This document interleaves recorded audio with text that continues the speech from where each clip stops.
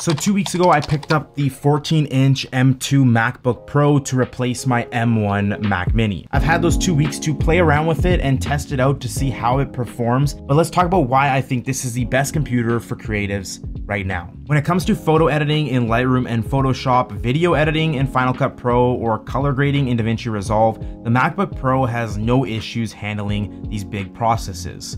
When editing video, I have yet to experience any drop frames or lag.